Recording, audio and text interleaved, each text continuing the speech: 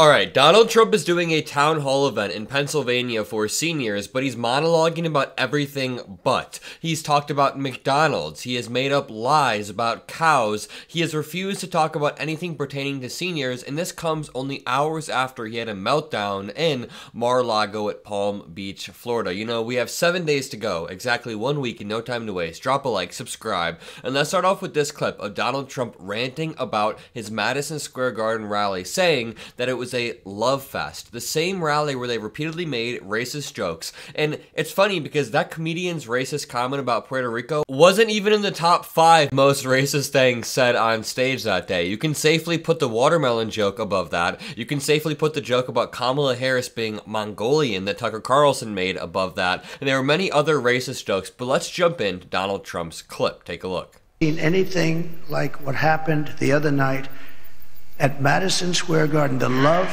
the love, the love in that room.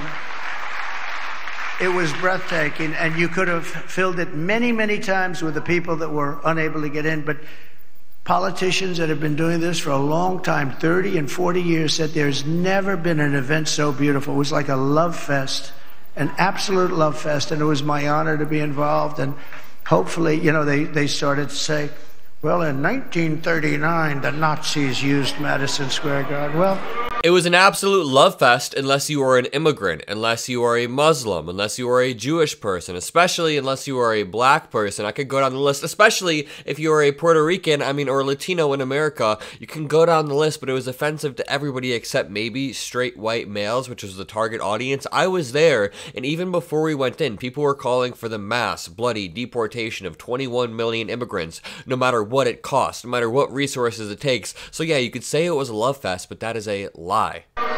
And you know what? Every no, but can you imagine it? 1939, the Nazi they would. But but how how terrible to say, right? Because if you wanted to beat those allegations, maybe you could have held a normal rally. I mean, there's a reality where Donald Trump just rambled on about tariffs or something else that's really dumb, but instead, every single speaker went for a, a uniquely racist remark. Because you know they've used Madison Square Garden many times. Many people have used it, but nobody's ever had a crowd like that. And I tell you what, right now, nobody's ever had love like that. That was love in the room, and it was love for our country. Nobody's ever had a crowd like that, ever. I mean, this is the same as Donald Trump saying that January 6th had a bigger crowd than Martin Luther King's I Have a Dream speech, which is incredibly offensive. Now, here's Donald Trump in his town hall a few hours later saying, quote, No president has done more for Puerto Rico than I have. He is genuinely just giving gift after gift to the Kamala Harris campaign because how can you say this days after one of your speakers derided Puerto Rico and then, after you never apologized, you never said that it was a bad remark, you have the goal to say that no president has ever done more for it. I mean, it's insane to me. Puerto Rico, and I want you to know that Puerto Rico stands behind you, and Puerto Rico loves you.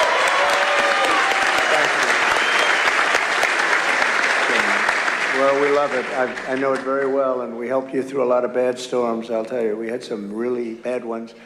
Uh, you remember you were there when I brought the hospital ship against everyone's advice, and we got it in there, and took care of a lot of people, but I think no president's done more for Puerto Rico than I have. So thank you. That's really nice of you. I mean, the bar that the presidents have to beat is basically throwing paper towel rolls. So I'm pretty sure every president in American history has beat Donald Trump when it comes to Puerto Rico. Now let's take a look at what President Biden was doing around the same time today.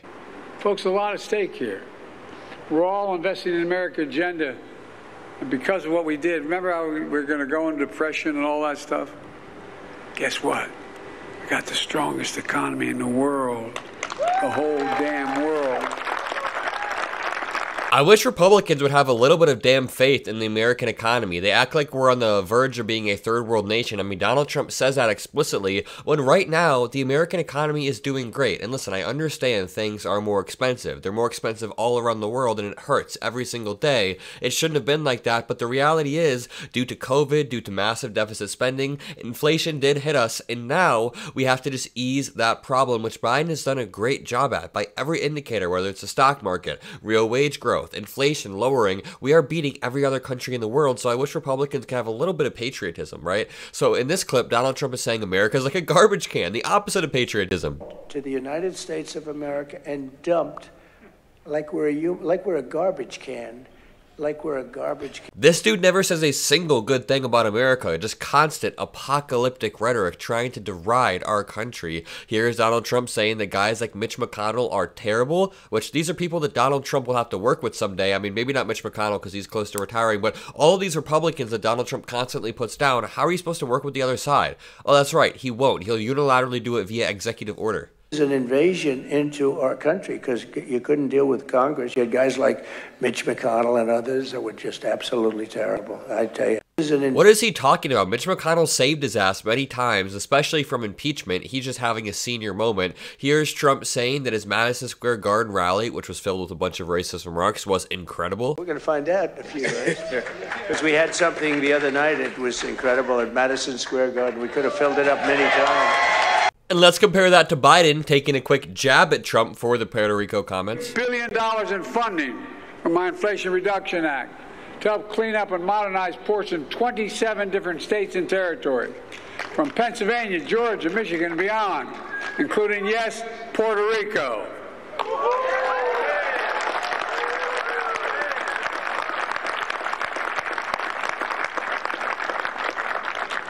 Well, I take that guy for a swim out there.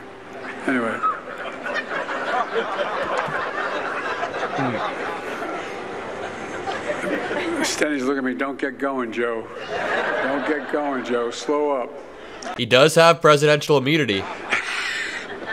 but this also what an absolute savage. You know Republicans are going to be melting down over that one. Meanwhile, Donald Trump, around the similar time, basically 20 minutes before that, was pushing election conspiracy theories. Now, that's the difference. Biden is making a joke, an obvious joke that he laughs off and he says, oh, my advisor's going to be mad at that one. Meanwhile, Donald Trump is very genuinely trying to convince half the country to be in an alternate reality when it comes to our foundational institutions, one of our foundational rights, which is to vote. I want to start by saying it's going very well. Uh, there are some bad spots in Pennsylvania where uh, some serious things have been caught or in the process of being caught, but uh, the election itself is uh, going very well. We're leading, I believe, in all seven. If he's talking about the drop boxes that were being burned, this is the dude that did it, and he is a registered Republican. He's been going around burning drop boxes, trying to influence the results of the election. And instead of Donald Trump calling out this dude, he just says vaguely, there are bad things going on, very bad things, which is that political doublespeak that he so often uses, where later on he can go back and say, oh, you guys know exactly what I was talking about. Here's Trump saying that Democrats are trying to destroy the country. So much for toning down the rhetoric. Running on a campaign of demoralization and really a, can of, a campaign of destruction. But really, perhaps more than anything else, it's a campaign of hate.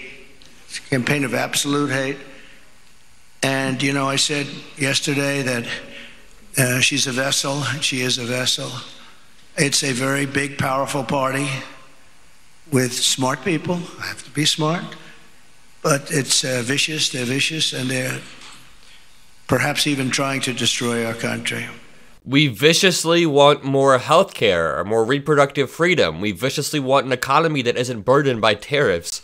Because who would want open borders where millions of people can flow in from prisons and from Democrats don't. I can guarantee basically nobody watching this video wants open borders where criminals are flowing in, which number one, that is loaded language. He's implying that almost all immigrants are criminals. That is not true. Immigrants commit crimes at lower rates than native born citizens because oftentimes they're trying to make a better life. But also, Democrats are the ones who want a secure border more so than Republicans right now. I can cite Lankford's bill, but I just want to broadly say I'm sure everybody watching this wants people to come through in a safe manner, in a legal manner, and for it to not take 10 years because when it takes 10 years, then people do what we see now. Let's streamline the process. Everybody can agree. From gangs, gangs, the worst gang members anywhere in the world. Who would want this for our country? Who would want uh, all of these transgender operations all over the place like at what a crazy pivot from immigration to transgender operations he is just trying to sow fear and it's so obvious he's getting worse at it which i'll show you in a second this clip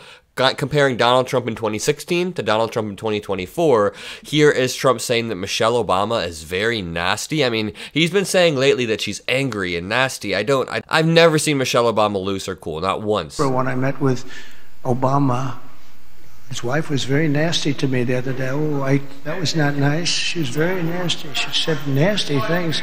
I was always, I was always very I was uh, always very respectful of her. Keep in mind, I'm pretty sure in the crowd I just heard someone say Big Mike, which is the Republican transphobic stereotype that they use about Michelle Obama, the conspiracy theory that she's actually a transgender woman. I don't, it's, it's disgusting, racist, transphobic stuff, but I swear I just heard someone at Trump's event say that.